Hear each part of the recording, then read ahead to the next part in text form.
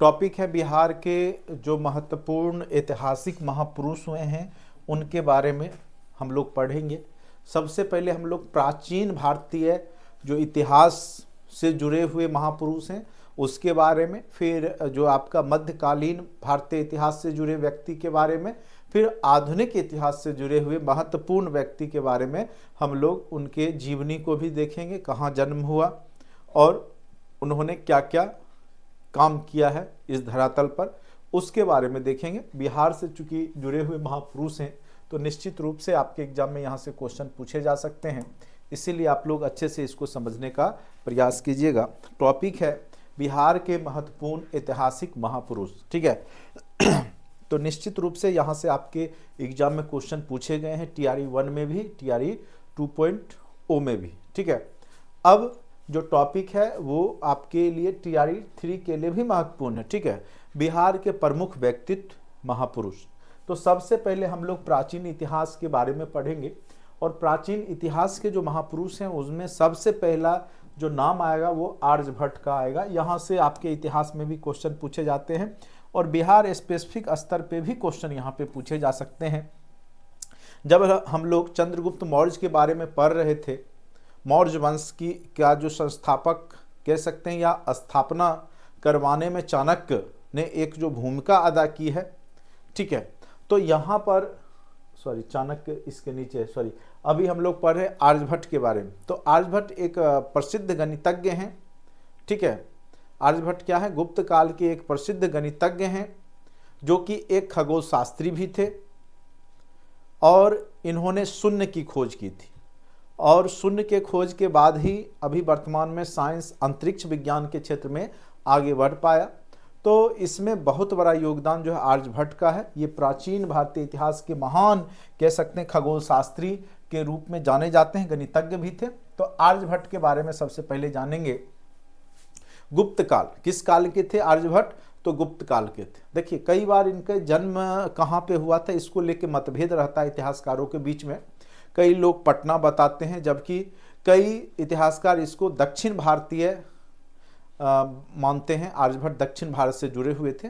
लेकिन जो भी हो, यहाँ पर मेन रूप से आपको जानना है कि गुप्त काल के प्रसिद्ध गणितज्ञ और खगोल शास्त्री थे और इन्होंने दशमलव व शून्य के का जो है आविष्कार किया था। तो कई बार पूछेगा, दशमलव एवं शून्य के आविष्कारक कौन थे? तो याद रखिएगा, दशमलव एवं शून्य के जो आविष्कारक थे वो आर्यभट्ट थे, ठीक है? आर्यभट्टीय इन्होंने ग्रंथ भी लिखा आर्यभट्टियम जो कि पृथ्वी अपने धुरी पर जो सूर्य के चारों ओर घूमती है, चक्कर लगाती है, इसके बारे में उन्होंने उस समय में सिद्धांत दे दिया था, जो कि पूरे विश्व में आपको बाद में चल करके कॉपर निकस ने दिया, कैपलर ने दिया, जो बाद में आगे चल करके सिद्धांत, वो सिद्धांत कहीं ना कहीं हमारे प्राचीन इतिहास में ही आर्यभट्ट ने दे दिया था, ठीक है? इनका जन्म माना जाता है पाटलिपुत्र के कुसुमपुर जगह में, लेकिन कई इतिहासकार इसको लेकर के मतभेद पैदा करते हैं। कई लोग इसको दक्षिण भारतीय बताते हैं। बीज गणित की प्रारंभिक आधारशिला इन्हीं के माध्यम से शुरुआत हुई थी। बीज गणित जो है, चूँकि ज़ीरो और दशमलव की खोज ही आर्यभट्ट के द्वारा किया गया था, इसीलिए बीज गणित का प्रारंभिक आधारशिला रखने में भी इनकी भूमिका मानी जाती है। और जो आर्यभट्टियम महत्वपूर्ण ग्रंथ है, वो आर्यभट्ट के द्वारा ही लिखा गया है, जो कि गुप्त काल के प्रसिद्ध गणितज्ञ एवं खगोल शास्त्री हैं। तो ये याद रखिएगा। और उसमें उन्होंने पृथ्वी जो अपने धूरी पर घूमती है और सूर्य के चारों परिक्रमा लगाती है, इसके बारे में उन्होंने चर्चा किया था आर्यभट्टियम में। Six two eight S S T का T R E two point O में आपका एक फोल्डर होगा, ठीक है? स्टडी मटेरियल फॉर प्रिंट उसमें आपके सारे डाले हुए हैं। ठीक है सिक्स टू एट वाले जो भी लोग हैं वो आपका जो भी मटेरियल है, चाहे हिस्ट्री ज्योग्राफी पॉलिटी इकोनॉमिक्स सब डाउनलोड कर लीजिए। उसमें एक फोल्डर है कंटेंट में स्टडी मटेरियल फॉर प्रिंट लिखा हुआ होगा, उससे आप डाउनलोड कर लीजिए। आपको पढ़ना है सारा। विश्व इतिहास भी पढ़ना है मॉडर्न भी पढ़ना है, आधुनिक मॉडर्न और आपका मिडेबल और एनिशियन सब पढ़ना सिक्स टू एट वालों को सब पढ़ना है ठीक है? वन टू फाइव में मॉडर्न पर विशेष फोकस कीजिएगा, लेकिन ये सब टॉपिक तो सबको पढ़ना है ठीक है? चलिए, ये सब चूँकि आपके 40 नंबर में भी पूछे जा सकते हैं, इसीलिए ये टॉपिक सबको पढ़ना, ये याद रखिएगा। चलिए आर्यभट्ट के बारे में अगर पूछेगा तो इन्हीं तथ्य में से पूछेगा आपको। अब देखिए, चाणक्य की चर्चा हमने शुरू में ही कर दिया था, यही है चाणक्य। ठीक है, चाणक्य के बारे में आप लोग जानते होंगे, इनके कई नाम हैं। इनके नाम जो है, विष्णु गुप्त भी इनको कहा जाता है। कौटिल्य के नाम से भी जाने जाते हैं, चूँकि यह कूटनीति में बहुत ज़्यादा पारंगत थे, इसलिए इनको कौटिल्य भी कहा गया है। कूटनीतिज्ञ भी हैं ये, राजनीतिज्ञ तो हैं ही, ठीक है। तो चाणक्य जो है, चंद्रगुप्त मौर्य के महामंत्री थे, और आपको पता होगा कि जो चंद्रगुप्त मौर्य हैं, इन्हीं के मदद से गद्दी पे बैठा था, घनानंद की हत्या करके, घनानंद को हरा करके जो गद्दी पे बैठा था, मगध के गद्दी पे तो उसमें चाणक्य ने ही चंद्रगुप्त मौर्य की मदद की थी। तो चंद्रगुप्त मौर्य के महामंत्री भी रहे थे ये, और साथ साथ उसके राजनीतिक गुरु भी थे, और कह सकते हैं कि पथ प्रदर्शक के रूप में भी ये जाने जाते हैं। किसके? तो चंद्रगुप्त मौर्य के, ठीक है? और ये कूटनीतिज्ञ थे तो जिस कारण से इनका नाम कौटिल्य भी रखा गया था, कौटिल्य भी लोग इनको कहते थे। और साथ साथ इनके अनेक नाम हैं, जैसे विष्णु शर्मा। इनका नाम विष्णु शर्मा के नाम से भी जाना जाता है सॉरी, विष्णु शर्मा नहीं होगा, विष्णु गुप्त। विष्णु गुप्त होगा, ठीक है? विष्णुगुप्त के नाम से भी इनको जाना जाता है। उनके द्वारा रचित अर्थशास्त्र में मौर्य प्रशासन का जो अर्थशास्त्र ग्रंथ है, वो अगर पूछेगा तो ये इकोनॉमिक्स से जुड़ा हुआ विषय नहीं है। वो मेन रूप से प्रशासन और राजनीति विज्ञान से संबंधित जो आपका जो अर्थशास्त्र किताब है, ग्रंथ है, उसके रचयिता, ये कई बार क्वेश्चन पूछा है कि अर्थशास्त्र ग्रंथ है, उसके रचयिता कौन थे? तो याद रखिएगा चाणक्य या विष्णुगुप्त या कौटिल तीनों एक ही व्यक्ति का नाम है, वही थे और उन्होंने जो है, उस समय अर्थशास्त्र में सप्तांग सिद्धांत के बारे में चर्चा किया है। राजा और उसके सात अंग क्या क्या होने चाहिए? उसकी चर्चा है साथ साथ मौर्य प्रशासन और मौर्य का समाज किस प्रकार से वहाँ बटा हुआ है कई मतलब कई जातिगत उसके बारे में इन्होंने बताया है। तो एक प्रकार से कह सकते हैं कि मौर्यकालीन समाज का दर्पण जो है वो इनके आर्यभट्ट में दिखा ये सॉरी क्या आ, किताब है? आ, तो अर्थशास्त्र। अर्थशास्त्र में मौर्यकालीन समाज के बारे में अच्छे से बताया गया कि समाज कितने वर्णों में बटा हुआ है और शूद्र के बारे में, महिलाओं की स्थिति के बारे में बहुत अच्छे से यहाँ पे इन्होंने चर्चा किया है। तो मौर्यकालीन समाज का दर्पण ये अर्थशास्त्र ही है, ठीक है? और इसमें राजा के सप्तांग सिद्धांत, राजा और उसके सात अंग खास करके मतलब शरीर के अंग से राजा और उसके जो सहयोगी हैं, उसका वर्णन यहाँ पे सप्तांग सिद्धांत में किया गया है। तो कई बार पूछेगा कि सप्तांग सिद्धांत जो है कहाँ पे वर्णित है? तो यह आपके अर्थशास्त्र में ही वर्णित है। और अर्थशास्त्र के रचयिता कौन है? तो याद रखिएगा, विष्णुगुप्त चाणक्य कौटिल्य तीनों एक ही व्यक्ति का नाम है। ठीक है? तो ये आपके हो गए कौन से? तो चाणक्य। चाणक्य से भी क्वेश्चन पूछा जा सकता है आपके एग्ज़ाम में। चंद्रगुप्त मौर्य के राजनीतिक गुरु भी हैं और घनानंद के को गद्दी पर से हटाने में या नंद वंश का विनाश करने में इनकी महत्वपूर्ण भूमिका रही थी। चलिए। ये आपके प्राचीन इतिहास में हम लोग अभी पढ़ रहे हैं। प्राचीन इतिहास के महापुरुष के बारे में हम लोग एक एक करके पढ़ रहे हैं। चूँकि बिहार स्पेशल में यहाँ से एक दो क्वेश्चन निश्चित रूप से आपके एग्ज़ाम में पूछे जाते हैं। बीपीएससी में तो इसलिए अच्छे से आप लोग ध्यान से समझने का प्रयास कीजिए, ठीक है? बाकी जो लोग व्हाट्सएप ग्रुप में शामिल नहीं हुए हैं और कोर्स से जुड़ गए हैं तो जो नीचे में डिस्क्रिप्शन बॉक्स में भी अभी लिंक चल रहा होगा, ठीक है? तो उसको, उस पर भी अपना हाई लिख करके अपना पेमेंट स्क्रीनशॉट भेज दीजिएगा व्हाट्सएप ग्रुप में शामिल होने के लिए तो मैं आपको व्हाट्सएप ग्रुप में शामिल कर दूँगा। वहाँ पर भी आपको पीडीएफ दे दिए जाते हैं, जिससे कि आपको एग्ज़ाम में दिक्कत ना हो, ठीक है? चलिए यागवल्लक के बारे में आप लोगों ने पढ़ा होगा, ठीक है? और यह जो है, वैदिक ग्रंथ के समय के हैं, और वैदिक ग्रंथ के मंत्र की रचनाओं में इनकी भूमिका है। इनका वर्णन रामायण महाभारत और अनेक महापुराणों में मिलता है, जो विदेह के राजा जनक के समकालीन थे। जो विदेह है, प्राचीन इतिहास में जगह है, उसके राजा जो जनक हैं, उसके समकालीन थे यागवल्लक के, ठीक है? और इनकी प्रमुख रचना यागवल्लक के स्मृति वृदारण्यक जो कि एक आरण्यक है, आरण्यक जंगलों में रह करके लिखा जाने वाला ग्रंथ होता है, और सतपथ ब्राह्मण, ठीक है? ये यहाँ पर तीन जो महत्वपूर्ण ग्रंथ है, सतपथ ब्राह्मण एक ग्रंथ है, वृद्धारण्यक एक आरण्यक ये भी ग्रंथ है, और साथ साथ यागवल्लक स्मृति ये तीनों यागवल्लक के द्वारा लिखा गया है, जो कि एक कह सकते हैं कि समकालीन बहुत बड़े उस समय के ठीक है, प्राचीन समय में वैदिक समाज है, उस समय में ये प्रमुख रचनाकार थे और इन्होंने श्लोक की रचना की है और उन्होंने कई ग्रंथ की भी रचना की है यागवल्लक के बारे में। तो यहाँ से ज़्यादा उतना महत्वपूर्ण नहीं है यागवल्लक आज तक पूछे नहीं गए हैं तो उम्मीद है कि नहीं ही पूछे जाएँगे। लेकिन अब जो है आपका मध्यकालीन इतिहास के बहुत सारे क्वेश्चन आपके एग्ज़ाम में पूछे गए ठीक है?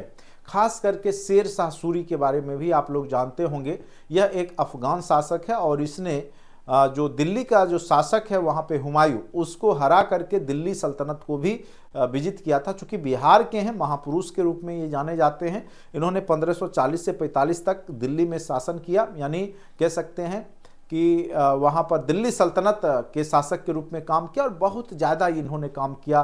ग्रैंड टैंक रोड का निर्माण किया, सिक्के चलवाए जगह जगह डाकघर बनवाए, ठीक है? यातायात जो है उसकी व्यवस्था की, यात्री पड़ाव बनवाए, अस्पताल बनवाए। तो शेरशाह सूरी अपने आप में एक महान शासक के रूप में अफगानी शासक हैं, जो कि दिल्ली सल्तनत पर कब्जा करते हैं, चूँकि बिहार के हैं, इसीलिए बिहार के महापुरुष में इनका भी नाम आता है शेरशाह सूरी का। ठीक है, शेरशाह सूरी के बारे में आप लोग मध्यकालीन इतिहास में पढ़ते ही 1540 से 45 का पीरियड इनका शासन का रहता है। अफगान शासक शेर शाह जिसका मूल नाम कई बार पूछ देगा कि शेर शाह का मूल नाम क्या था तो याद रखिएगा शेर शाह का जो मूल नाम था वो फरीद खां था। शेर शाह का अगर कोई पूछे आपका कि मूल नाम क्या था तो ये क्वेश्चन एग्ज़ाम में पूछे गए हैं शेर शाह का मूल नाम फरीद खां था। क्या था? शेर शाह का मूल नाम तो फरीद खां था। और इनका जन्म चौदह सौ बहत्तर ईस्वी में पंजाब में बांजवारा एक जगह है, वहीं पे हुआ था।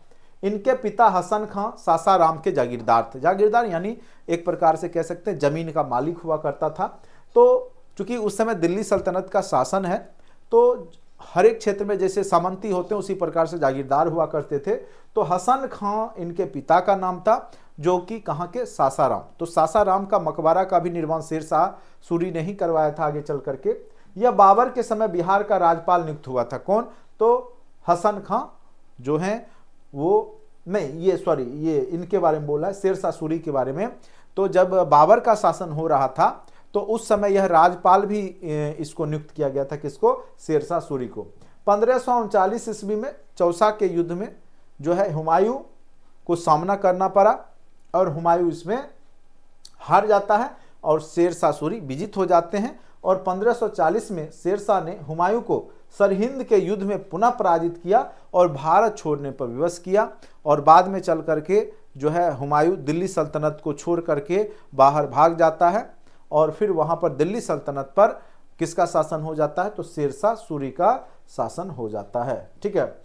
अमरकोट में चला जाता है, जो कि अब पाकिस्तान में है, वहाँ पे पंजाब का ही प्रांत है तो वहीं पे हुमायूं रहता है, और तब तक जो है 1545 कह सकते हैं 1540 से लेकर के 1555 तक दिल्ली सल्तनत पर अफगानी शासकों का ही कब्जा रहता है, चूँकि 1540 से 45 तक ही शेरशाह सूरी रहते हैं। उसके बाद अफगानी शासक वहाँ शासन करते हैं। फिर आगे चलकर आपको पता ही होगा, पंद्रह सौ में युद्ध होगा, ठीक है? तो यहाँ पर है, युद्ध में पुनः पराजित कर भारत छोड़ने पर विवश कर दिया और शेर खां की उपाधि लेकर के, शेर खां चूँकि एक ही बार में शेर को मार दिया था, एक ही तलवार से तो इसलिए पहले नाम इसका क्या था? फरीद खां। आगे चल करके इसका नाम शेर खां हुआ और फिर आगे चूँकि सूरी वंश से जुड़ा हुआ था, इसलिए भारत में सूरी साम्राज्य की स्थापना किया और पूरा नाम इसका शेरशाह सूरी हो जाता है, ठीक है?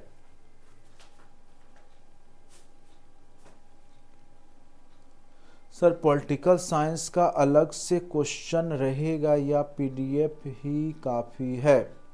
देखिए, पीडीएफ काफ़ी है, आप कॉन्सेप्ट को पढ़िए।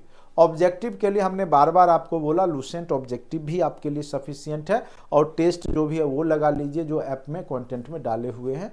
उसको लगाइए और प्रीवियस ईयर का जो हमने पीडीएफ भेज दिया है, बीपीएससी का व्हाट्सएप ग्रुप में, उसको भी पढ़ते रहिए। इतना ही सफिशियंट है। ज़्यादा माथा पच्ची करना नहीं है। क्वेश्चन जब भी आएगा तो वो थ्योरी से ही रिलेटेड आता है और ईजिली बन जाता है। इसीलिए बार बार वो जो वीडियो है, आप जो देख रहे होंगे कॉन्टेंट में, उसको देखते रहिए। पूरा पॉलिटी जोग्राफी हिस्ट्री जो भी महत्वपूर्ण तथ्य आपको पता होगा, आपको दिखता होगा कॉन्टेंट जो लोग बाय कर रखे हैं। तो वो सब देखते रहिए। मैथ के भी पचपन, चौवन वीडियो हैं, उसको देखते रहिए। रीजनिंग के भी तीस पैंतीस वीडियो वीडियो है, उसको देखते रहिए। बिहार स्पेशल के भी बहुत सारे 25-30 वीडियो है, उसको देखते रहिए। बस ये सब अगर आप देखते हैं तो कहीं से क्वेश्चन बाहर नहीं जाएगा, ठीक है? बस देखते रहिए बार बार पढ़िएगा, आराम से याद रहेगा और यही सब क्वेश्चन आपके एग्ज़ाम में पूछे जाते हैं। अब देखिए, और ये जो चीज़ के बारे में जानकारी मिली है, जो ये सब स्रोत है, उसका स्रोत है अब्बास खां शेरवानी की रचना है, तारीख शेरशाही। तो ये पूछ सकता है, तारीख शेरशाही किसकी रचना है? तो याद रखिएगा अब्बास खां शेरवानी। शेरशाह नाम भी है शेरवानी जो है अब्बास खां इसी ने ता, तारीख एफ़ जो है शेरशाही में शेरशाह के बारे में ये सब ज़िक्र किया है चर्चा किया है ठीक है? चलिए। अब नेक्स्ट महापुरुष के बारे में हम लोग पढ़ेंगे। उनका नाम है गुरु गोविंद सिंह जो कि आपको पता होगा दसवें गुरु हैं और अंतिम गुरु भी हैं। सिख धर्म के दसवें और अंतिम गुरु के रूप में जाने जाते हैं गुरु गोविंद सिंह, जो कि पहले गुरु कौन है? गुरु नानक देव, जिनका जन्म चौदह सौ उनहत्तर ईस्वी में तलवंडी, जो कि अब पाकिस्तान में चला गया है, नानकाना साहब में हुआ था। लेकिन ये अंतिम गुरु है, गुरु गोविंद सिंह, इनका जन्म पाटलिपुत्र में हुआ था। इसीलिए बिहार के महापुरुष में हम लोग गुरु गोविंद सिंह के बारे में भी पढ़ते हैं। चूँकि गुरु गोविंद सिंह का जन्म जो हुआ था, वो पाटलिपुत्र, जो पटना सिटी है, वहीं पे हुआ था। ठीक है? सिख पंथ के दसवें और अंतिम गुरु थे। इनका जन्म 22 दिसंबर सोलह ईस्वी के बिहार का पटना साहिब, जिसको पटना सिटी भी कहते हैं। वहीं पर इनका जन्म हुआ था।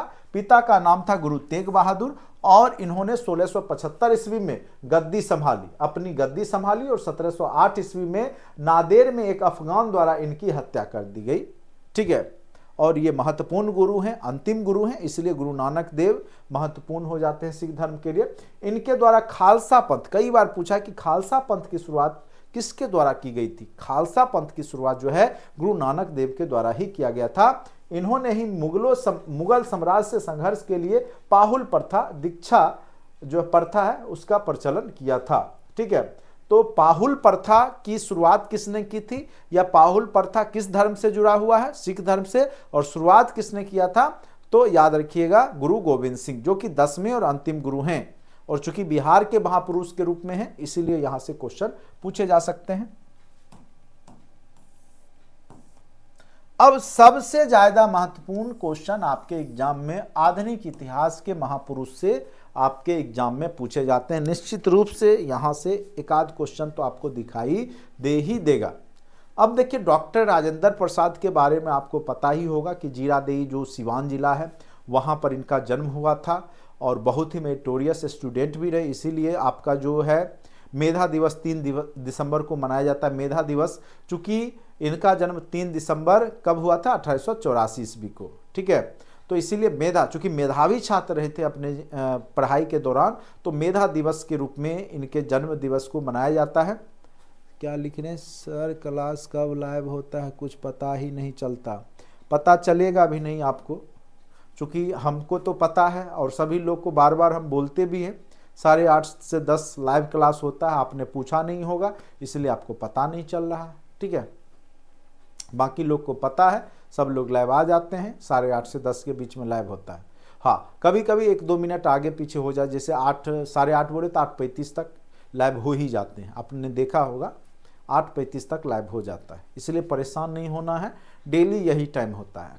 चुपचाप खोल करके नोटिफिकेशन जाए तो जाए, नहीं जाए फिर भी आप खोल करके आठ पैंतीस में ऑन कर दिया कीजिए, दिखना शुरू हो जाएगा। ठीक है? चलिए।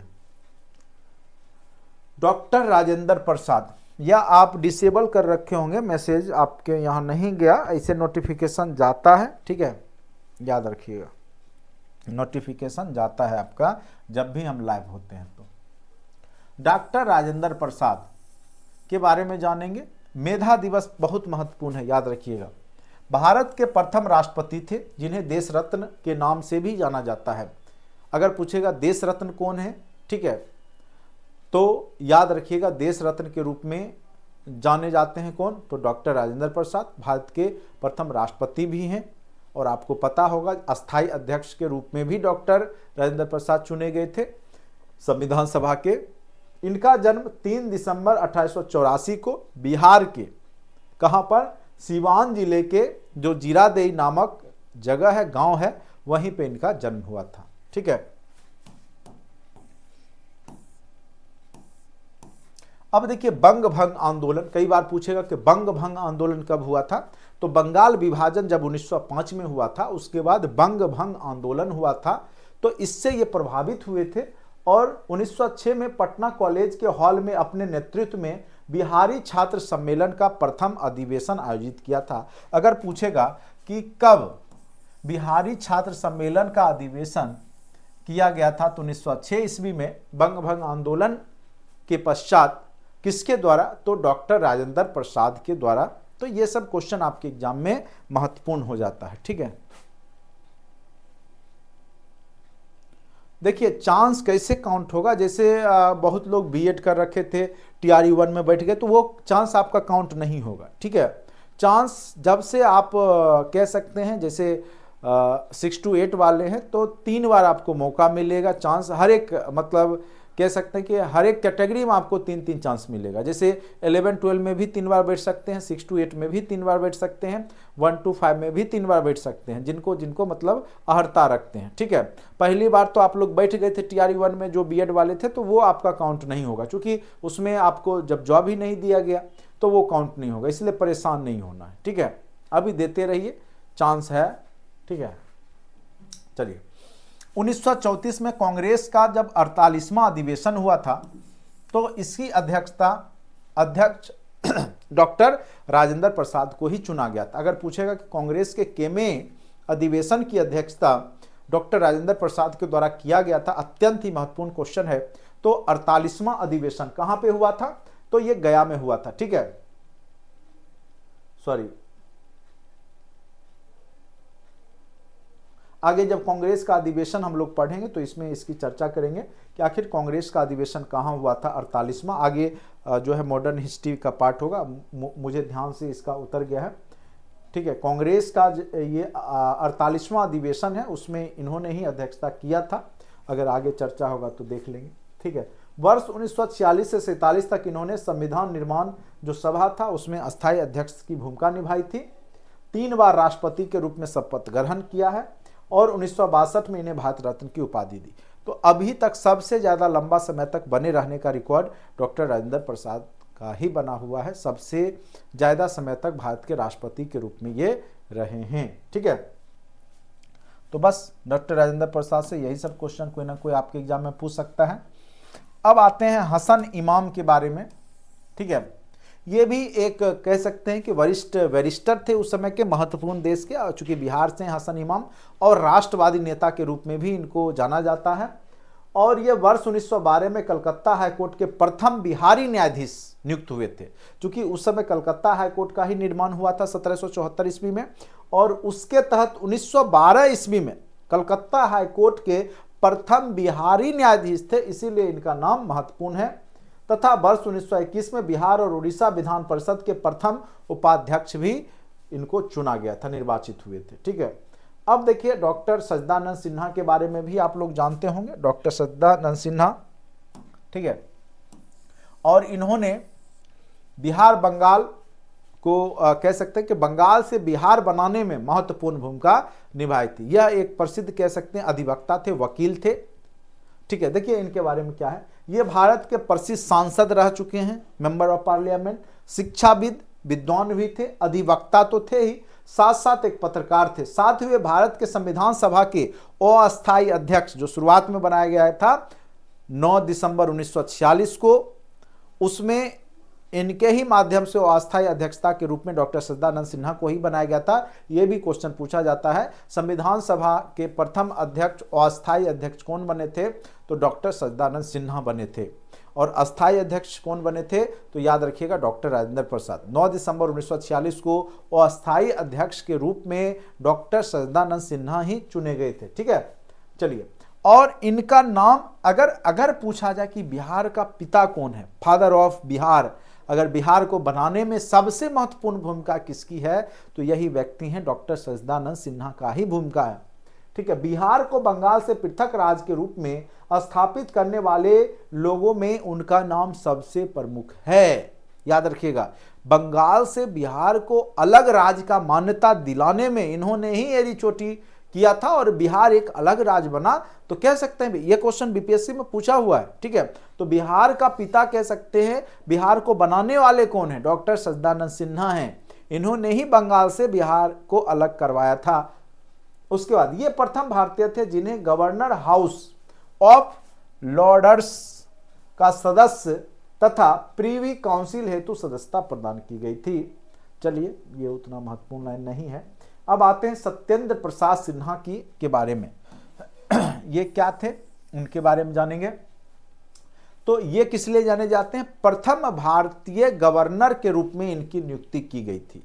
प्रथम भारतीय गवर्नर, अगर पूछेगा तो याद रखिएगा, सत्येंद्र प्रसाद सिन्हा। ठीक है? नियुक्त की गई थी सत्येंद्र प्रसाद सिन्हा।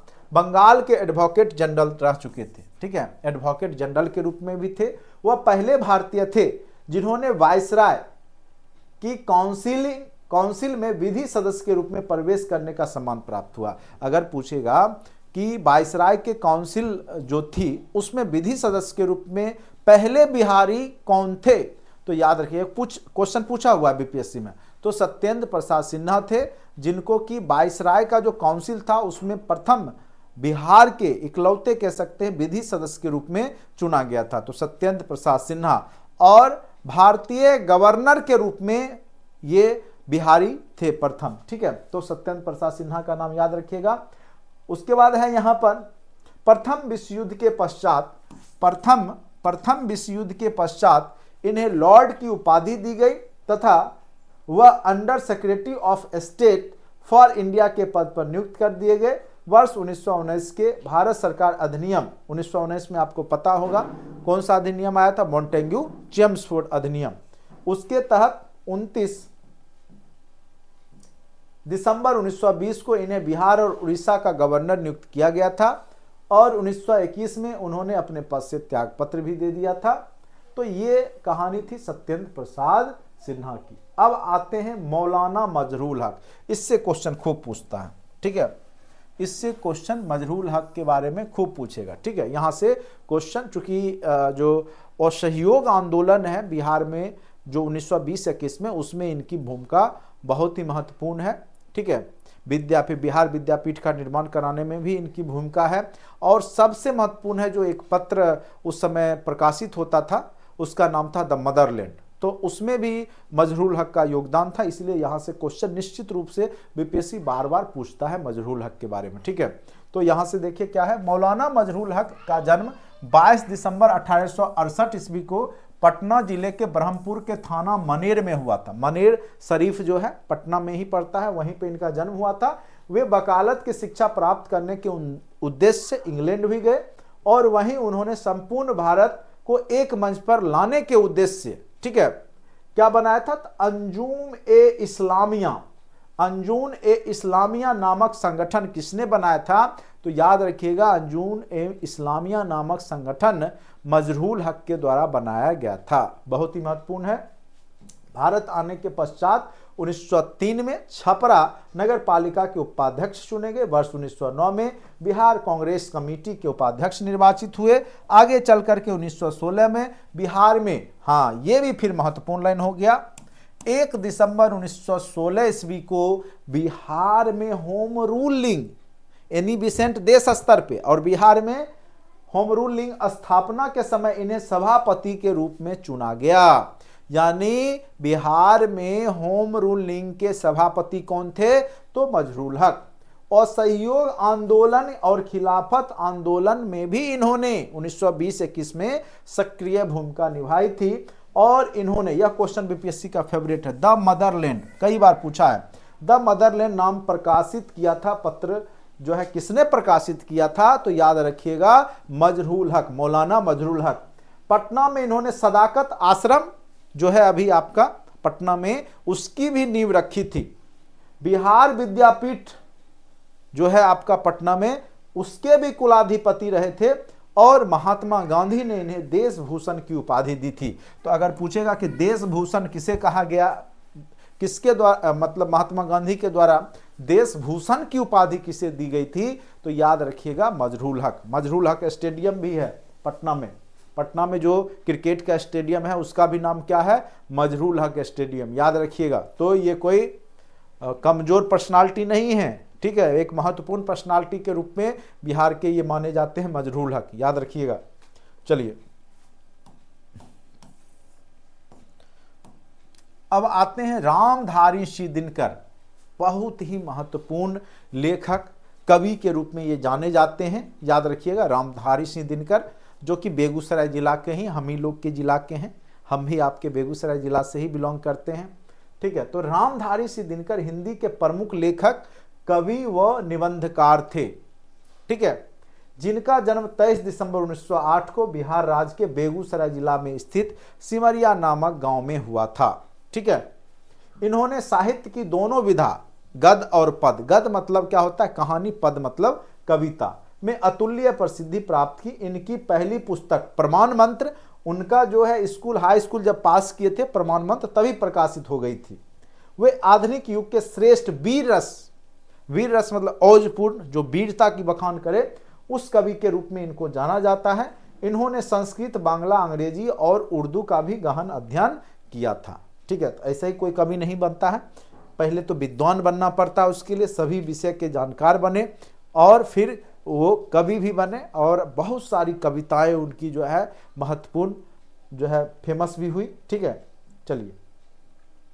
दिनकर स्वतंत्रता पूर्व एवं देखिए, इनका जो कह सकते हैं कि दिनकर स्वतंत्रता पूर्व एक विद्रोही कवि के रूप में, यानी अंग्रेज़ों के खिलाफ करने के रूप में, जबकि स्वतंत्रता पश्चात राष्ट्र कवि के नाम से जाने जाते हैं और वे छायादार कवियों की पहली पीढ़ी के कवि थे। एक और उनकी कविताओं में ओज, विद्रोह, आक्रोश, क्रांति की पुकार है तो दूसरी ओर कोमल, श्रृंगारिक भावनाओं का अभिव्यक्ति भी है। इन दोनों प्रवृत्तियों का चरम उत्कर्ष हम उनकी कुरुक्षेत्र और उर्वशी नामक कृति में देख सकते तो कई बार पूछा हुआ, उर्वशी किसकी कृति है? तो रामधारी सिंह दिनकर, याद रखिएगा, उर्वशी किन की कृति है? तो रामधारी सिंह दिनकर, कुरुक्षेत्र किसकी कृति है? तो रामधारी सिंह दिनकर की है। ठीक है? ये तीन बार राज्यसभा के सदस्य भी रहे थे। चलिए तो ये महत्वपूर्ण, रामधारी सिंह दिनकर के बारे में जान गए अब आते हैं भिखारी ठाकुर, जिसको कि भोजपुरी शेक्सपियर कहा जाता है। भोजपुरी लैंग्वेज में इनको भोजपुरी का शेक्सपियर किसको कहा जाता है? भिखारी ठाकुर को कहा जाता है। ठीक है? चलिए, इनके बारे में भी थोड़ा सा जान लीजिए। भिखारी ठाकुर का जन्म 18 दिसंबर अठारह सौ सत्तासी को बिहार राज्य के सारण ज़िले के कुतुबपुर दियारा गाँव में एक, कह सकते नाटू परिवार में हुआ था। भिखारी ठाकुर बहुआयामी प्रतिभा के व्यक्ति थे, जो भोजपुरी समर्थ लोक कलाकार, रंगकर्मी, लोक जागरण के संदेश, वाहक और लोकगीत तथा भजन कीर्तन के अनन्य साधक थे। कहने का अर्थ है कि इनको भोजपुरी बहुत ज़्यादा पसंद था और भोजपुरी में ही इनका जो भी कला संस्कृति है, जो भी अभिनय है या जो भी लोक जागरण के माध्यम से इन्होंने रंगकर्मी की भूमिका निभाई कलाकार तो भोजपुरी में ठीक है? वे भोजपुरी गीतों और नाटकों की रचना और अपने सामाजिक कार्यों के लिए प्रसिद्ध हैं। मेन रूप से भिखारी ठाकुर किसके लिए है? भोजपुरी जो गीत है, लोकगीत है, उसकी रचना करने के लिए आज का भोजपुरी सॉन्ग नहीं, जो एक कह सकते हैं, सभ्यता वाला यहाँ पे भोजपुरी गीत एवं नाटकों की रचना और सामाजिक कार्यों के लिए इनकी प्रसिद्धि थी। भिखारी ठाकुर का कवि, गीतकार, नाटककार, नाट्य निर्देशक, लोक संगीतकार और अभिनेता भी थे। नाट्य परिवार से ही मतलब नाचने गाने का इनका परिवार शुरू से ही था। इसलिए उन्हें भोजपुरी का शेक्सपियर भी कहा जाता है। ये क्वेश्चन पूछ सकता है, भोज भोजपुरी का शेक्सपियर किसे कहा जाता है? तो याद रखिएगा, भिखारी ठाकुर को।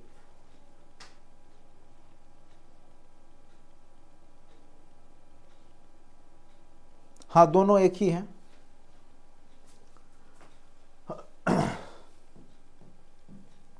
बिहार सरकार प्रतिवर्ष भोजपुरी साहित्य के क्षेत्र में उल्लेखनीय भूमिका निभाने वाले साहित्यकारों को भिखारी ठाकुर, ये भिखार लिखा गया है, भिखारी ठाकुर भोजपुरी सम्मान से सम्मानित करती है। तो इतना याद रखिएगा, भोजपुरी में इनका बहुत ही महत्वपूर्ण योगदान है, भिखारी ठाकुर। बस पूछेगा तो वही लेन पूछेगा। अब हिंदी के कवि हैं फनिश्वर नाथ रेणु। ठीक है फणीश्वर नाथ रेणु के बारे में भी। देखिए, ये बिहार के ही सारे महापुरुष हैं, कवि हैं, इतिहासकार हैं, या फिर क्रांति कारक हैं क्रांतिकारी हैं, जो कि राष्ट्रीय आंदोलन में या राष्ट्रवादी नेता है, वही सब व्यक्ति के बारे में हम पढ़ रहे हैं। तो निश्चित रूप से बिहार स्पेशल हो, चाहे इतिहास हो कहीं ना कहीं क्वेश्चन दिख ही जाएगा आपको। ठीक है, चलिए फणीश्वर नाथ रेणु का जन्म 4 मार्च 1921 को बिहार के अररिया ज़िले में फारबिसगंज के पास औराही हिंगना नामक ग्राम में हुआ था। उस समय यह गाँव पूर्णिया ज़िले में था। तो फणीश्वर नाथ रेणु कह सकते हैं कि एकदम पूर्वी छोर जो है बिहार का वहीं के हैं। हिंदी उपन्यास की दुनिया में आंचलिकता को आंदोलन के रूप में आरंभ करने का श्रेय रेणु, यानी आंचलिक उपन्यास जो है इनका महिला आंचल। आपने पढ़ा होगा महिला आंचल किसकी कृति है? तो फणीश्वर नाथ रेणु की महिला आंचल को ही जाता है। महिला आंचल इनका प्रथम उपन्यास है। कई बार पूछेगा महिला आंचल के निर्माता कौन है? लेखक कौन है? महिला आंचल, जो साहित्य है, उपन्यास है, उसके रचनाकार फणेश्वरनाथ रेणु हैं, ठीक है? जिनके लिए इनको पद्मश्री पुरस्कार भी दिया गया था। इनकी लेखक शैली वर्णनात्मक थी, जिसमें पात्र के प्रत्येक मनोवैज्ञानिक सोच का विवरण लुभावने तरीके से किया जाता था। इनकी लगभग प्रत्येक कहानी में पात्रों की सोच घटनाओं से प्रेरित होती थी एक आदिम रात्रि की महक, इसका एक सुंदर उदाहरण है। ये भी एक ग्रंथ है, एक आदिम रात्रि की महक। ठीक है? चलिए। हाँ देखिए, अब विद्यापति से निश्चित रूप से पूछता है। बीपीएससी का फेवरेट है विद्यापति, ठीक है? कीर्ति, लता और कीर्ति पताका कई बार पूछे गए हैं, किन की रचना है? कीर्ति, लता और कीर्ति पताका। तो याद रखिएगा, कीर्ति लता और कीर्ति पताका विद्यापति की ही रचना है, और ये शिव नचारी भी लिखते थे और गाते भी थे। शिव भक्त हैं, भगवान शिव के बहुत बड़े भक्त हैं। मैथिल कोकिल के नाम से प्रसिद्ध जो है वो, कौन है? मैथिल कोकिल के नाम से किनको कहा जाता तो विद्यापति, ठीक है, जो लोग हिंदी साहित्य पढ़ते होंगे तो उसमें विद्यापति के बारे में ज़रूर पढ़ते होंगे। मैथिल कोकिल के नाम से प्रसिद्ध कवि विद्यापति का जन्म तेरह सौ अस्सी ईस्वी में विस्फी ग्राम जो कि मधुबनी में है, वहाँ पे हुआ था। विद्यापति को संस्कृत, अभ्रंश अवहट मैथिली आदि भाषाओं पर समान पकड़ था। इन्होंने इन सभी भाषाओं में अनेक कृतियों की रचना की है। सिंगार एवं शास्त्र के महाकवि विद्यापति ने अनेक राजाओं के राज दरबार में सम्मानजनक स्थिति प्राप्त की थी और मैथिली को उन्होंने उत्कर्ष पे पहुँचाया था। तो मैथिली लैंग्वेज जो लोग पढ़ते होंगे तो विद्यापति के बारे में ज़रूर उनको अच्छे से जानकारी होगी। तो कीर्ति पता, कीर्ति लता इनकी रचना है। कीर्ति पता का, कीर्ति लता पूछेगा तो विद्यापति की रचना है। ये शिव भक्त हैं शिव नाचारी भी लिखते थे। ठीक है तो याद रखिएगा। शिव के भक्ति में गाया जाने वाला गीत है। चलिए, अब शिव पूजन सहाय, ये उतना महत्वपूर्ण नहीं है, आज तक नहीं पूछा गया, लेकिन फिर भी पढ़ लेते हैं। शिव पूजन सहाय का जन्म 9 अगस्त अठारह सौ तिरानवे को बिहार राज्य के भोजपुर ज़िले में हुआ था, जो हिंदी के प्रसिद्ध उपन्यासकार, कहानीकार, संपादक, पत्रकार के रूप में प्रसिद्ध हैं। ठीक है? इन्होंने जागरण, हिमालय, माधुरी, बालक आदि कई प्रतिष्ठित पत्रिकाओं का संपादन किया है और 1924 ईस्वी में लखनऊ में प्रेमचंद के साथ माधुरी का संपादन भी किया। चार खंडों में इनकी समस्त रचनाएँ शिवपूजन ग्रंथावली के नाम से प्रकाशित हुई। तो ये भी भारत के बिहार के कह सकते हैं कि एक बहुत अच्छे कवि के रूप में है, हिंदी के कवि हैं, साहित्य के रचनाकार के रूप में ये जाने जाते हैं, ठीक है? चलिए, और इनको भी आगे चल करके पद्म भूषण का पुरस्कार मिला है, उतना महत्वपूर्ण नहीं है। अब राम वृक्ष बेनीपुरी, ये थोड़ा सा ज़्यादा महत्वपूर्ण है। राम वृक्ष बेनीपुरी का जन्म तेईस दिसंबर अठारह को बिहार राज्य के मुजफ्फरपुर जिला में स्थित जो बेजीपुर है, वहीं पे इनका जन्म हुआ था। वे सच्चे देशभक्त थे जिन्होंने भारतीय स्वतंत्रता संग्राम में आठ वर्ष जेल में बिताए थे। राम वृक्ष बेनीपुरी के बारे में। इनकी प्रसिद्धि गद्य लेखन के क्षेत्र में कहानी लिखते थे, जो एक जाने माने पत्रकार भी थे। कौन? तो राम वृक्ष बेनीपुरी। इन्होंने कई समाचार पत्र, खास करके याद रखिएगा, युवक। युवक का जो उन्नीस सौ उनतीस में संपादन किया था वो किसने किया था? युवक जो कह सकते हैं यहाँ पे समाचार पत्र है, उसका संचालन जो है राम वृक्ष बेनीपुरी के ही द्वारा किया गया था। ठीक है राम वृक्ष बेनीपुरी याद रखना है आपको। इसके अलावा कई राष्ट्रवादी और स्वतंत्रता संग्राम संबंधी कार्यों में भी ये संलग्न रहे थे। अब नेक्स्ट आता है जानकी वल्लभ शास्त्री। जानकी वल्लभ शास्त्री का जन्म 15 जनवरी 1916 को बिहार राज्य के गया ज़िले में और मेघराज नामक ग्राम में हुआ था। इन्होंने हिंदी, अंग्रेज़ी, संस्कृत, प्राकृत, पाली आदि भाषाओं में जो है कविता लिखा है, ठीक है? चलिए, ये सब आप लोग पढ़ लीजिएगा, उतना महत्वपूर्ण नहीं है ये।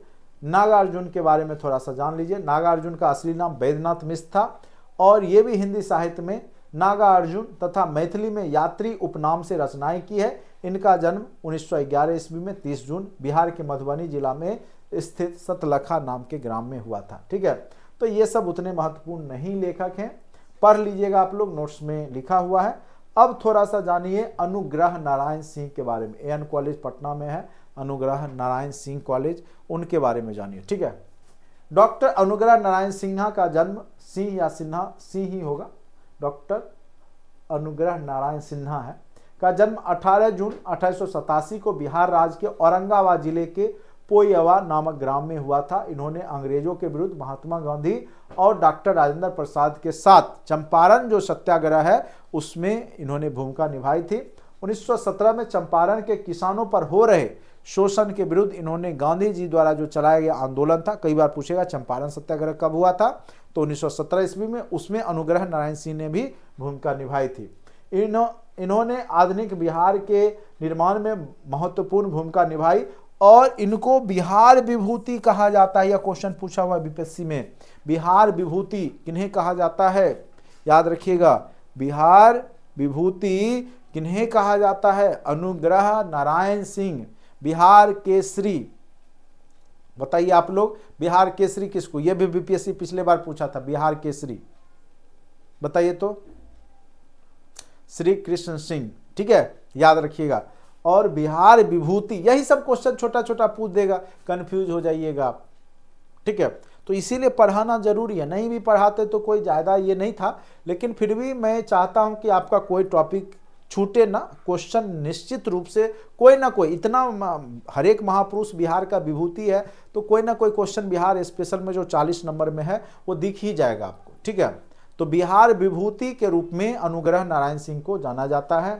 उन्नीस सौ बाईस ईस्वी में जब कांग्रेस का जब राष्ट्रीय अधिवेशन हुआ था गया में, कई बार पूछा है कि गया का अधिवेशन कब हुआ था तो उन्नीस ईस्वी में गया में हुए राष्ट्रीय कांग्रेस अधिवेशन में इन्होंने स्वागत समिति के सदस्य ये बनाए गए थे, अनुग्रह नारायण सिंह। उन्नीस सौ अट्ठाइस में बिहार प्रदेश कांग्रेस के भी अध्यक्ष निर्वाचित हुए थे।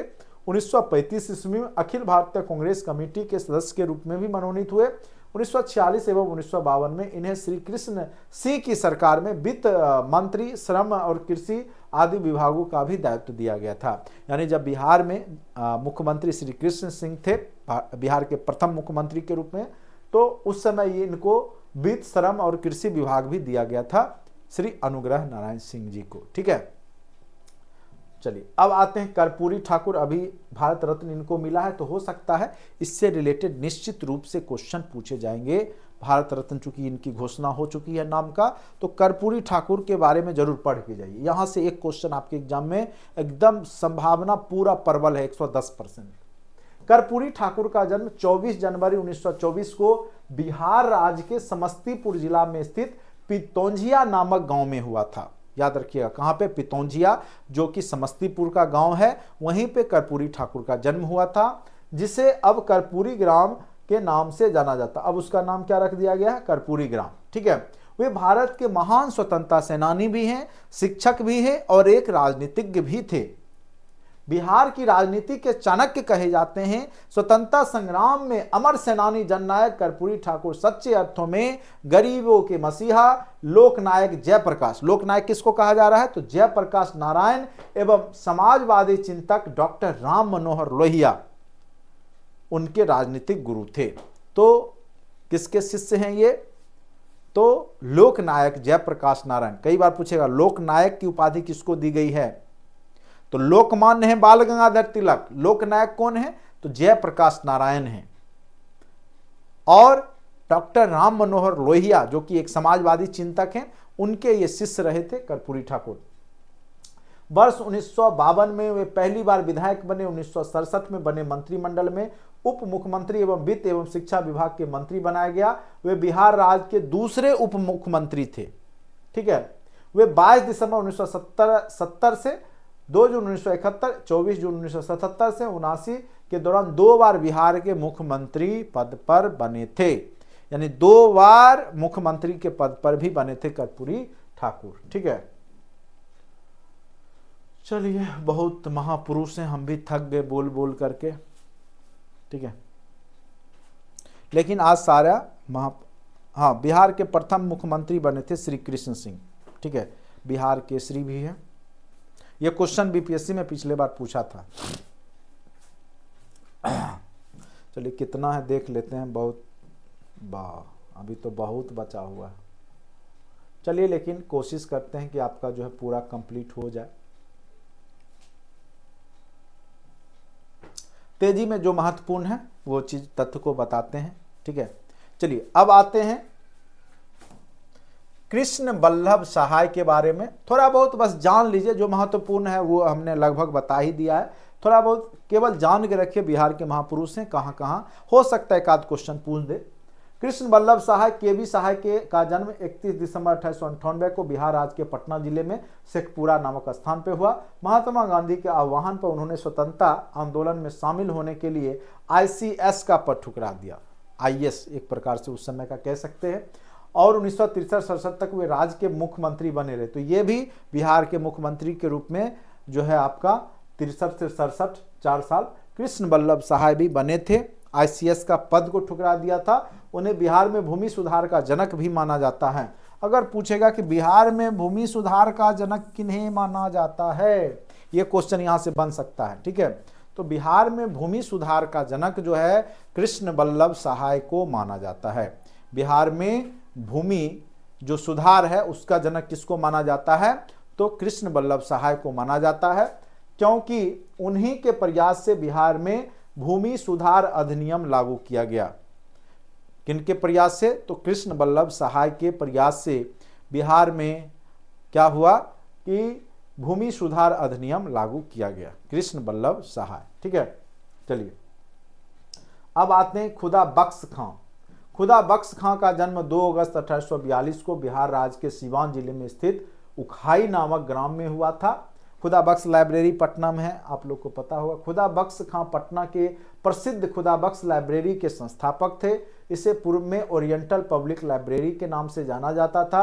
आज यह राष्ट्रीय महत्व की संस्था है, मान ली गई है, क्योंकि उन्नीस सौ उनहत्तर में संसद के एक अधिनियम द्वारा इस ग्रंथालय का नियंत्रण भारत सरकार के अधीन है। यहाँ पर उर्दू, फारसी, अरबी की हज़ारों पांडुलिपियाँ अब कहिएगा पांडुलिपि क्या होता है? जिसमें कहानी के साथ साथ छोटे छोटे चित्र भी बनाए रहते हैं, उसको पांडुलिपि कहा जाए छोटे छोटे चित्र, ठीक है? तो वहाँ पे उपलब्ध है। अब देखिए, ये तो महत्वपूर्ण व्यक्ति हैं, जयप्रकाश नारायण, ठीक है? यहाँ से तो बीपीएससी का फेवरेट टॉपिक ही भारत छोड़ो आंदोलन में इन्होंने जो आज़ाद दस्ता का निर्माण किया है। तो यहाँ से क्वेश्चन निश्चित रूप से जयपर देखिए, ये फिर महत्वपूर्ण हो जाता है। आपको देखने से ही पता चल जाएगा कि बीपीएससी कौन जगह से क्वेश्चन पूछता है। तो जयप्रकाश नारायण एकदम महत्वपूर्ण है। भारत छोड़ो आंदोलन, आज़ाद दस्ता, ये सब में इनकी बहुत बड़ी भूमिका है। लोक नायक के रूप में जाने जाते हैं जयप्रकाश नारायण। नहीं, पूर्ण स्वतंत्रता दिलाने में जो है इनकी भूमिका है। चलिए, जयप्रकाश नारायण भारतीय स्वतंत्रता सेनानी, समाज सेवक एवं राजनेता थे। संपूर्ण क्रांति के जनक भी इनको कहा जाता है जयप्रकाश नारायण को। जिन्हें लोक नायक के नाम से भी जाना जाता है तो कई बार पूछेगा लोक नायक किनको कहा जाता है? तो याद रखिएगा, जयप्रकाश नारायण को, ठीक है? इनका जन्म 11 अक्टूबर 1902 को बिहार राज्य के सारण ज़िले में स्थित सिताब दियारा नामक गाँव में हुआ था। तो जयप्रकाश नारायण का जन्म भी सारण जिला में ही सिताब दियारा में हुआ था। पूर्व में मार्क्सवाद मार्क्सवादी विचारधारा, जो कम्युनिस्ट है, उससे प्रभावित थे, परंतु बाद में समाजवाद की ओर उन्मुख हुए। दोनों समाजवादी है, लेकिन ये साम्यवादी है और अब हुए ये वर्ग समन्वय पे आधारित समाजवाद में। वे बिहार के पहले उप मुख्यमंत्री के साथ साथ वित्त मंत्री भी बने थे, ठीक है? चलिए, अब आते हैं 1974 में छात्र आंदोलन का नेतृत्व स्वीकार करते हुए उन्होंने 1917 में इंदिरा गांधी सरकार के खिलाफ संपूर्ण क्रांति की शुरुआत किसने की थी? तो जयप्रकाश नारायण ने। आज़ाद दस्ता का निर्माण किसने किया था भारत छोड़ो आंदोलन के दौरान? तो जयप्रकाश नारायण। यानी देश की आज़ादी के पूर्व भी और देश आज़ादी के बाद भी इन्होंने क्रांति करना नहीं छोड़ा। इंदिरा गांधी के समय में इन्होंने कांग्रेस का खिलाफ में जाकर के संपूर्ण क्रांति आंदोलन भी किया था। उन्हें समाज सेवा के लिए उन्नीस सौ पैंसठ में मैक्सेस पुरस्कार भी दिया गया था, जो फिलीपींस सरकार के द्वारा दिया जाता है। इसके अतिरिक्त उन्नीस सौ निन्यानवे में मरणोपरांत भारत रत्न से भी सम्मानित किया गया था। कब? उन्नीस सौ निन्यानवे में। किनको तो जयप्रकाश नारायण को। इनकी जीवनी पर आधारित जयप्रकाश नारायण नामक पुस्तक राम वृक्ष बेनीपुरी के द्वारा लिखा गया है, प्रकाशित किया गया था। जयप्रकाश नारायण के जीवनी पे आधारित पुस्तक है। ठीक है, चलिए। अब एक फ़िल्म देखे होंगे। जब तक तोड़ेगा नहीं, तब तक छोड़ेगा नहीं, दशरथ मांझी के बारे में ये फ़िल्म आपने देखा होगा, ठीक है? दशरथ मांझी का जन्म 1934 में बिहार राज्य के गया ज़िले में स्थित गहलौर नामक ग्राम में हुआ था। इन्हें माउंटेन मैन के नाम से भी जाना जाता है क्योंकि इन्होंने क्या किया था? माउंटेन पर्वत को तोड़ करके रास्ता बना दिया। इसका प्रमुख कारण यह है कि इन्होंने केवल एक हथौड़ा और छेनी के मदद से अकेले ही 300 सोच रहे, मेहनत कितना है? अकेले 360 फीट लंबी 30 फीट चौड़ी 25 फीट ऊँची पहाड़ को काट करके सड़क बना डाली। तो बिहार तो महापुरुषों का राज्य है। 22 वर्षों तक अथक परिश्रम किया। 22 वर्ष लगे इनको और इनके द्वारा बनाई गई सड़क, अत्री और बाजीरगंज ब्लॉक की दूरी 55 किलोमीटर से घट करके 16 किलोमीटर कर दिया। ठीक है? तो निस्वार्थ भावना से इन्होंने जो है सड़कें बनाई थी। बिहार की इस महान विभूति ने बुलंद हौसलों से घर, परिवार, ज़िले, राज्य, देश का नाम पूरे विश्व में रोशन कर दिया। उनकी जीवनी पे आधारित एक film, Manjhi the mountain man 2015 में निर्देशक केतना मेहता द्वारा बनाई गई, जिसमें नवाजुद्दीन सिद्दीकी जो है, दशरथ मांझी का चरित्र बखूबी अच्छे से निभाया है। ठीक है? अब देखिए, इस व्यक्ति को नहीं पढ़ेंगे बीपीएससी में तो दो क्वेश्चन आपका जो है छूट जाएगा। एकदम हर एक बीपीएससी के एग्ज़ाम में वीर कुंवर सिंह दो क्वेश्चन पूछेगा ही पूछेगा। कोई पूछे ना पूछे, ये पूछेगा ठीक है? वीर कुंवर सिंह, आपको पता ही अठारह की क्रांति में क्या भूमिका, पूरा कहानी ही बताएँगे, और आपके कंटेंट में पढ़ा भी होगा अठारह क्रांति में, बिहार में वीर कुंवर सिंह की भूमिका। तो उसमें आप देखेंगे इनके बारे में। बाबू वीर कुंवर सिंह अठारह की प्रथम भारतीय राष्ट्रीय जो स्वतंत्रता संग्राम है, या सिपाही विद्रोह के महानायक के रूप में ये जाने जाते हैं। इनका जन्म 23 अप्रैल 1777 को बिहार राज्य के भोजपुर जिला के, कहाँ पे हुआ था? तो जगदीशपुर। और जगदीशपुर के ये जमींदार परिवार से जुड़े हुए थे, जमींदार खुद भी थे, ठीक है? बिहार में दानापुर छावनी के सैनिक का साथ इनको मिला। जब दानापुर की सैनिक आई तो इनके साथ मिलकर के इन्होंने अंग्रेज़ों के खिलाफ में युद्ध किया, ठीक है? पहले से संपर्क बना हुआ था, वहाँ के सैनिकों ने इनके नेतृत्व में विद्रोह कर दिया और 75 साल के बूढ़े हड्डी में जागा जोश, नहीं, पुराना था। तो सब कहते हैं, वीर कुंवर सिंह, क्या था, बड़ा वीर मर्दाना था, या कुछ इस तरीका से पंक्ति है, बहुत अच्छा पंक्ति है। अठारह की क्रांति में जब पढ़ाएँगे तो इसमें आपको सुनाएँगे, ठीक है। तो 75 साल की उम्र में उन्होंने विद्रोह को का सफल नेतृत्व किया था, ठीक है। तो यहाँ पे तो शॉर्ट शॉर्ट में है महापुरुष के बारे में। तो वीर कुंवर सिंह अठारह के महानायक के रूप में बिहार के तरफ़ से, जो कि आरा, भोजपुर के जगदीशपुर के हैं, जिन्होंने अठारह की क्रांति में सिपाही विद्रोह में प्रमुख भूमिका निभाई है। ठीक है? अब बिस्मिल्ला खां के बारे में आप जानते हैं, सहनाई वादक नहीं, सहनाई बजाने में कह सकते हैं। उस्ताद मिल्ला खां 21 मार्च 1916 को बिहार राज्य के बक्सर जिला में स्थित डुमराव नामक गाँव में हुआ था। इनका असली नाम कमरुद्दीन खां था। क्या नाम है? बिस्मिल्ला खां का ही नाम असली कमरुद्दीन खां था। उन्नीस सौ छप्पन में इन्हें संगीत नाटक अकादमी पुरस्कार से सम्मानित किया गया। उन्नीस ईस्वी में पद्मश्री, उन्नीस सौ अड़सठ में पद्म भूषण और पद्म विभूषण तथा 2001 में भारत रत्न से भी इनको सम्मानित किया गया था। जब 15 अगस्त उन्नीस में जब देश आज़ाद हुआ था तो उस दिन लाल किला पर जो स्वतंत्रता दिवस आयोजित हुआ था तो उसमें सहनाई का वादन इन्होंने किया था। किसने?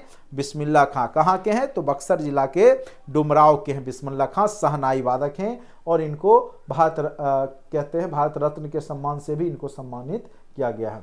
अब आ जाइए बीपी मंडल। मंडल आयोग के बारे में आप लोगों ने पढ़ा होगा बीपी मंडल। ठीक है? जिन्होंने पिछड़े वर्ग को अधिकार दिलाया, आरक्षण दिलाई, उनके बारे में। बिंदेश्वरी प्रसाद मंडल इनका पूरा नाम था। भारतीय संसद के सदस्य के रूप में बिहार के सातवें मुख्यमंत्री और द्वितीय पिछड़ा वर्ग आयोग के अध्यक्ष के रूप में थे, जिनका जन्म 25 अगस्त 1918 को बिहार राज्य के सहरसा ज़िले में हुआ था। 1978 में तत्कालीन प्रधानमंत्री मोरारजी देसाई के पाँच सदस्यीय नागरिक अधिकार आयोग का गठन किया गया, जिसकी अध्यक्षता बीपी मंडल को ही बनाया गया था। अध्यक्ष और फरवरी उन्नीस सौ अड़सठ से 22 मार्च उन्नीस सौ अड़सठ तक इन्हें बिहार का मुख्यमंत्री रहने का भी सौभाग्य मिला था। तो बीपी मंडल के ही अध्यक्षता में जो आपका पिछड़ा वर्ग आयोग का गठन हुआ, जो कि पिछड़ा वर्ग को एक अधिकार मिला, आरक्षण मिला था, ठीक है? अब आ जाते हैं। श्री कृष्ण सिंह के बारे में जानिए, जो बिहार के प्रथम मुख्यमंत्री हैं। श्री कृष्ण सिंह का जन्म 21 अक्टूबर अठारह को बिहार राज्य के नवादा ज़िले के नरहट प्रखंड में खनवा नामक ग्राम में हुआ था, जबकि उनका पैतृक गाँव शेखपुरा जिला के बरबीघा प्रखंड में स्थित मौर है। जगह का नाम है डॉक्टर राजेंद्र प्रसाद तथा अनुग्रह नारायण सिन्हा के साथ वे भी कहाँ पे आधुनिक बिहार के निर्माता के रूप में जाने जाते हैं, उन्हें बिहार केसरी के नाम से जाना जाता है। यही क्वेश्चन बीपीएससी पूछा था। बिहार केसरी के नाम से किनको जाना जाता है? तो श्री कृष्ण सिंह को जाना जाता है। 1916 में जब लखनऊ का कांग्रेस अधिवेशन हुआ था, इन्होंने वहाँ पे सक्रिय भूमिका निभाई और होम रूल आंदोलन में भी इन्होंने बढ़ चढ़ करके हिस्सा लिया था। उन्नीस सौ उनतीस में सोनपुर मेला में जब स्वामी शाहजानंद सरस्वती किसान आंदोलन कर रहे थे तो वहाँ पर भी उनके साथ इन्होंने किसान सभा के गठन में भी भूमिका निभाई। ठीक है? चलिए। उसके बाद है बिहार में स्वायत्त शासन का जब शुभारंभ उन्नीस सौ ईस्वी को हुआ तो कांग्रेस सरकार का गठन हुआ और श्री कृष्ण सिंह को बिहार का पहला प्रधानमंत्री अगर पूछ दे बिहार का पहला प्रधानमंत्री तो गलत क्वेश्चन नहीं है। क्योंकि जो स्वायत्त शासन का स्थापना हुआ था उन्नीस सौ सैंतीस में बिहार में तो वहाँ पर बिहार का कांग्रेस सरकार के द्वारा जो है, कांग्रेस सरकार का जो गठन हुआ था, उसमें श्री कृष्ण सिंह को बिहार का पहला प्रधानमंत्री, ठीक है, तत्कालीन समय में मुख्यमंत्री को प्रधानमंत्री कहा जाता था तो बनाया गया था। तो प्रधानमंत्री अगर पूछ दे तो कोई गलत सवाल नहीं है ये। श्री कृष्ण सिंह बिहार के पहले प्रधानमंत्री ठीक है? स्वतंत्रता प्राप्ति के पश्चात श्री कृष्ण सिंह बिहार राज्य के प्रथम मुख्यमंत्री बने। अपने जीवन के अंतिम समय 31 जनवरी उन्नीस सौ इकसठ तक, वो बिहार के मुख्यमंत्री बने रहे। तो श्री कृष्ण सिंह के बारे में भी जान गए बिहार के श्री। ठीक है जननायक कर्पूरी ठाकुर के भी बारे में जान गए लोकनायक जयप्रकाश नारायण के बारे में भी आप जान गए बहुत सारे आर्यभट्ट के बारे में आपने जाना, दशरथ मांझी के बारे में जाना। तो बहुत सारे बिहार के जितने भी विभूति थी, विभूति हैं, थे उनके बारे में आपको हमने तेज़ी से, थोड़ा तेज़ी में हमने बताया, लेकिन महत्वपूर्ण चीज़ आपको बता गया, बता दिया।